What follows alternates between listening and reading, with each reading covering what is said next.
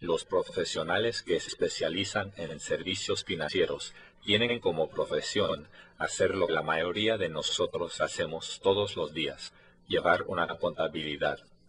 Así como las personas tienen que planear sus gastos y saber vivir con sus ingresos, de la misma manera lo hacen las corporaciones y compañías. El ofrecer servicios financieros requiere entrenamiento, conocimiento y la habilidad de no ser emotivo cuando se trata de negocios. El mundo cuenta con las personas que trabajan con los números para brindar información clara y objetiva. En el rango más alto están los gentes quienes desarrollan una estrategia para la compañía, basándose en la información brindada por las personas que trabajan en servicios financieros.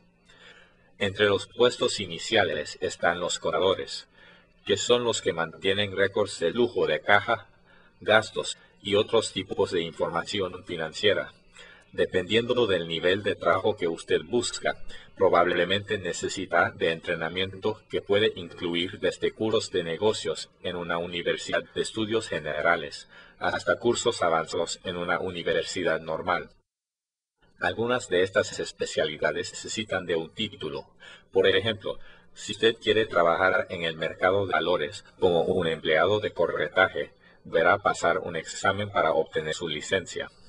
De hecho, cada industria tiene sus propios servicios financieros y tiene su propio conjunto de requisitos y maneras de aprender. La parte seguros, la parte bancaria y la preparación de impuestos son tres de las áreas de especialización que usted puede considerar.